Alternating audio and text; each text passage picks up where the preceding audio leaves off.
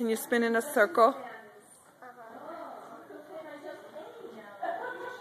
Can you spin it real slow? There you go. Does it almost dip and drop, doesn't it?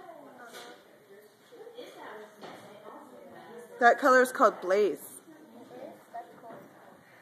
It looks kind of like fire moving, doesn't it?